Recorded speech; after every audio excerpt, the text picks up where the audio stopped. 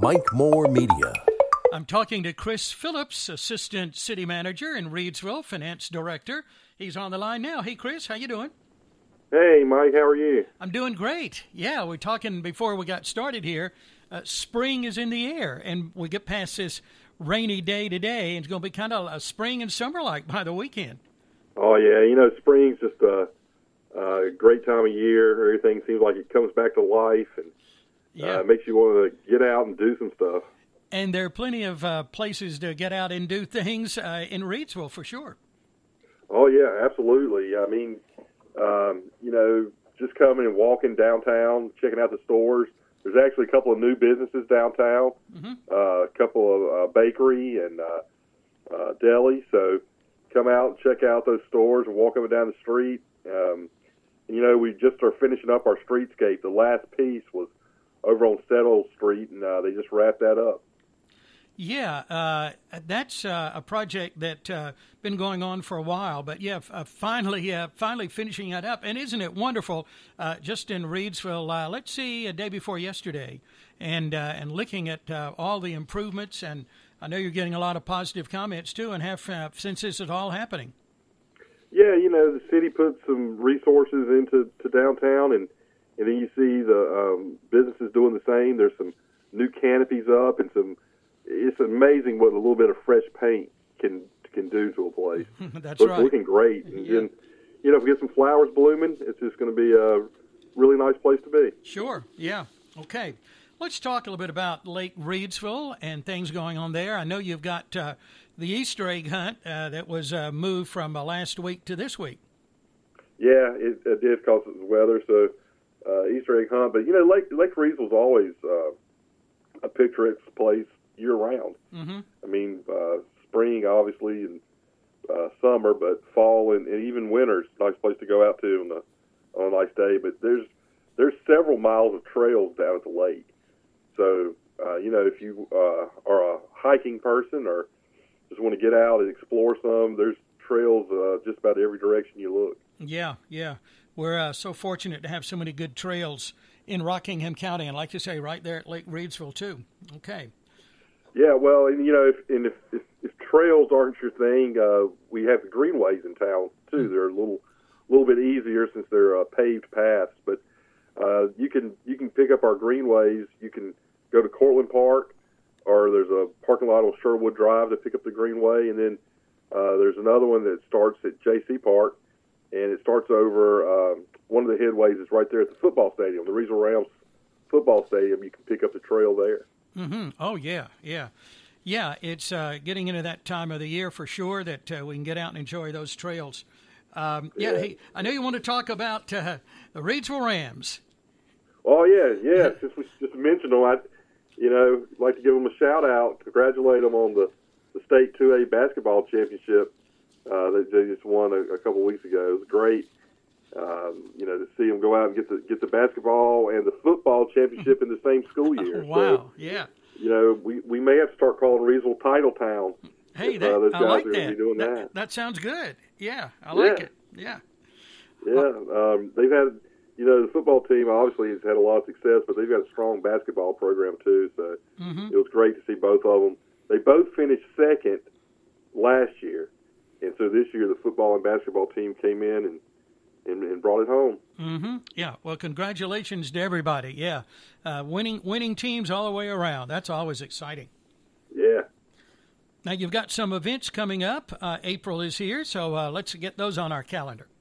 Okay. Yeah, there's a few things in April. You know, some of the things coming back to life. We're a little early for the farmers market. It doesn't start till May, and uh, the concert series uh, doesn't start uh, until uh, later in, in the summer as well. But but there are a few things. Uh, April 13th. Look for this coming out. Some details coming out soon. We're going to have our historical historical preservation commission is going to do a downtown stroll one Saturday morning. Mm-hmm. Oh, And uh, those are usually ticketed events. They're free, but they do fill up. So if you see that come out, you might want to jump on it if you're interested. But a lot of uh, a lot of history downtown, and a lot of uh, you know tidbits that those folks uh, will share. Mhm. So that's uh, that's always interesting. sure. And then uh, April 27th, we got a, uh, a double hitter of events that day. We actually have a shred day. So about twice a year, we'll offer a shred event. Uh, it's down behind City Hall, and they they will go from nine till noon on the 27th, or until the truck's full. So if everybody shows up at nine o'clock and fills up a whole truck, uh, they may not be here at noon. But uh, you know, paper, uh, even though we're more of a paperless society than we used to be, Mm-hmm. still folks have a lot of paper around and get those old tax forms since uh, it's time to do a new tax return. Get those old ones out and bring them in that morning and, and then uh, shred them there at the truck while you're waiting, and you'll know your stuff's been taken care of uh, properly. Sure. But also that day, I said it's a double hitter. Uh, our uh, Reidsville uh, Human Relations Committee is actually sponsoring an event at Market Square from noon to four. It's the community event, and uh, they want all of Reidsville, all of Team Reidsville to come out for it. They're going to have bands and food, vendors. They'll have games. They'll have door prizes. Just uh, really uh, kind of kicking off the the uh, spring and summer season with that event. hmm Yeah, I remember this from last year. I believe um, that that was well attended, if I remember correctly. Yeah, they try to bring uh, a variety of things. Just uh, you know, uh, in, in in it's like a lot of things at Market Square. The folks that are able to come out have a great time. So if you uh, get the chance, you should come down and check out this community event. hmm April twenty seventh. Okay, got it. Yeah, and that you know, the big news for us though is going to be May. Uh, Memorial Day weekend, we're finally going to get our splash pad open. All right, finally. Yeah, yeah. It's been a while coming, uh, but uh, if you've been down Scales Street recently, you can't miss it. It's uh, uh, got a lot of color, uh, a lot of uh, uh, features on it, but it's just going to be great. Can't wait to have uh, the place full of kids cooling it off this summer. Yeah, yeah, and adults uh, probably. I would think. Oh yeah, yeah. okay.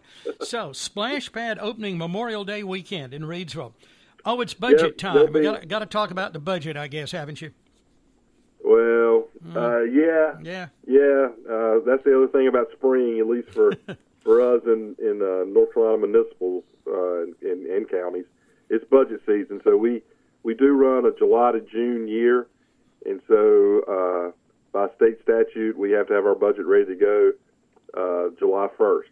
So we we actually will have a, a budget presentation at, at City Council's May meeting. Mhm. Uh, the manager will present them with the budget and hit the highlights uh, with them, and then in their June meeting is when they'll actually uh, adopt the budget. So between the May and June meeting, uh, we'll have a budget work session session with council so they can dig into the numbers a little more, and um, uh, come June they'll hopefully have a budget they can uh, get behind and, and adopt. Uh, so July one, when the fiscal year starts, we'll be up and running. Yeah. Okay. And uh, you play a, a big role in that as uh, finance director too. Uh, yeah, um, the city manager is actually our budget officer, uh, but uh, of course the, the finance department uh, does revenue projections and works with the uh, other departments to help them pull together numbers for their budget that the, the is presented to the manager, and then um, I sit in with uh, the manager and our other assistant manager, uh, Haywood Cloud Jr.